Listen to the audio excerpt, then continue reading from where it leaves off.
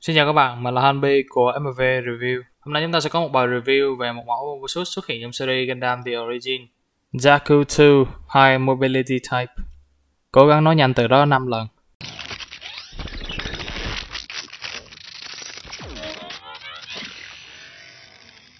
Một lần nữa mình phải nói là mình không biết tiểu sử của con này vì anime đối với mình bây giờ nó có hơi gọi là xa xỉ một tí À, mà cái mà biết rất rõ là gameplay của dòng GTO này chơi rất là ngon.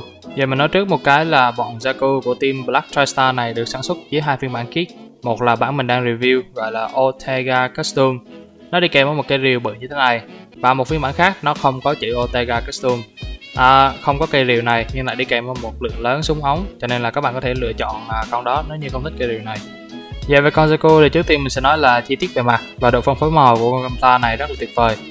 Chưa nói tới phủ sơn thì nhìn qua cũng có thể thấy là chỉ với panel line thôi cũng có thể làm nổi bật con Zaco này lên thêm được một tí. À, Cụ thể là ở phần bắp chân này. Còn lại thì do đây là một con gameplay có phong màu khá là tối cho nên là dù có line nên kiểu nào chẳng nữa cũng không thể thấy được gì. Thay vào đó các bạn nên bỏ thời gian ra để sơn lại những phần ống ở ờ, phần chân, phần hông và trên đầu như mình đã làm ở đây để có thể tăng thêm độ phong phú màu của con gameplay nếu như các bạn để ý kỹ phần chân thì có thể thấy là nó khác một chút so với những con Zaku khác mình tin rằng đây là cái phần được thay đổi để thêm chữ High Mobility vào trong tên của con Zaku này. Vì nhìn từ đây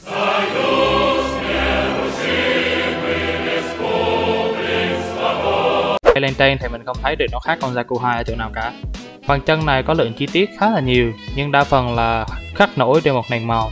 Có nghĩa là các bạn cần phải cố gắng cầm cọ và cầm súng lên để thêm được một tí ờ, màu cho nó làm nổi bật những cái chi tiết này lên rõ ràng hơn. À, nếu như không muốn phải dùng tới sticker.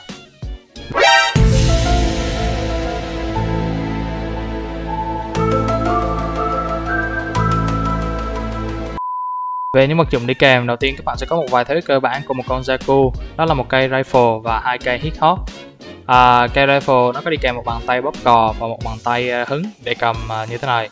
Các bạn có thể đẩy cây này qua và dùng à, tay cầm bình thường để cầm như thế này.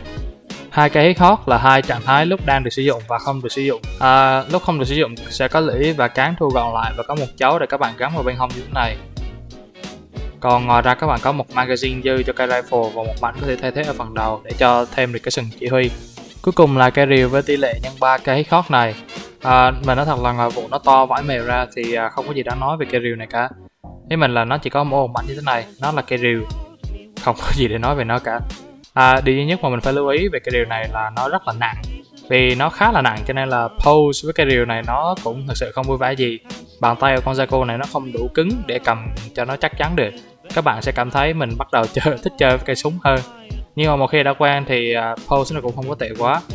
Ngoài ra các bạn còn có một cái base một cái effect đi kèm để cho giúp cho các bạn à, uh, pose với cái điều này. Cuối cùng là về phần biên độ cử động các bạn có đầu cho một khớp cầu và một khớp nhỉnh. Mắt có thể di chuyển được bằng một cái chốt nhỏ nhỏ ở dưới đầu. Vai trên một khớp cầu và có thể đẩy về phía trước cùng với phần thân. Cả hai giáp vai đều có thể di chuyển tách biệt. Bắp tay xoay và cặp chân hai khớp cổ tay trên một khớp cầu bụng trên một khớp cầu gặp tới phía trước rất là nhiều và vừa phải ở phía sau. Váy trước đẩy lên, váy ngang trên một khớp cầu. Chân đá lên khá là cao, sọt rất là ok. Bắp chân xoay và gặp chân hai khớp. Cổ chân trên một khớp cầu và một khớp nhỉnh, bàn chân có thể làm như thế này.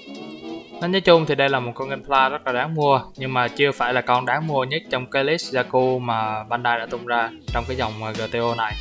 Mình thấy cái con đáng mua nhất hiện giờ vẫn là con à, Zaku C5.